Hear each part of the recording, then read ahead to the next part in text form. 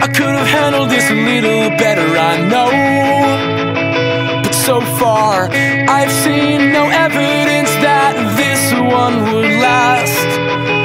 It's not a personal attack, I just got bored and stretched out. Let's not pretend to concern ourselves, cause it's really not that